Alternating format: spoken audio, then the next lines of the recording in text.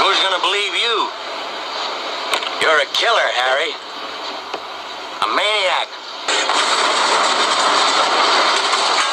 Johnny, what's Elon doing with those bloody robots of his?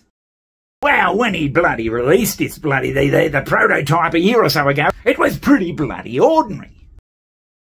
Oh, Jesus Christ! But now, just a year or so later, Johnny, and he's come out with this. All right then, roll the tape. Tesla kind of just dropped a huge bombshell yesterday, showing off the Optimus Robot Gen 2, and the progress Tesla has made here is just mind boggling. Tesla has revealed Generation 2 of the Optimus Robot. It is completely built with Tesla's in house components. It's it's walking like it's shit itself, Johnny.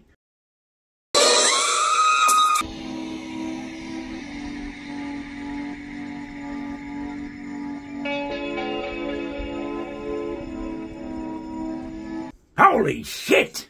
Have a look at it!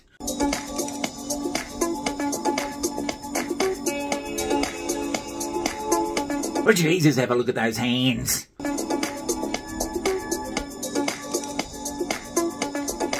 Now, if there's such a big improvement over 12 months or so, Johnny, it's a little bit scary to try and ponder up what, what they're going to be like in five years. Yeah, five years. Well, that's a thought too, by Jesus. But I think that this is not unimaginable that a working robot will be a one to one with every human in the world. And if Tesla succeeds in deploying 100 million robots in future, its market value will exceed 17 trillion dollars. Oh, Jesus, I don't know. Johnny, are they saying that uh, everyone's going to have a bloody one of these fucking robots following them around? At work? Helping them, supposedly. And whether they end up seducing people or murdering them, uh, that remains to be seen. Jesus Christ. Now, I don't know. I don't know how it's all going to fit in. Are we going to have these bloody robots wandering around the house in 15 years' time? but sometimes, Johnny, you and I, we like to get around uh, in the nude, uh, freely, uh, when there's no one about, of course. Right, right, yes.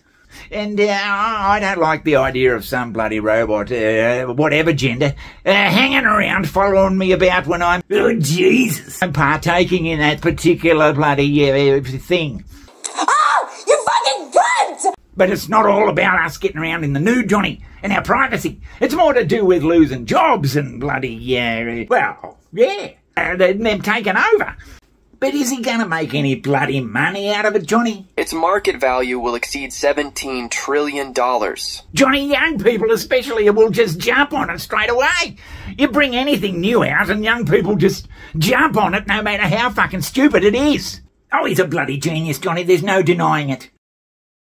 He might be a bit on the bloody damp side, but he's a bloody genius.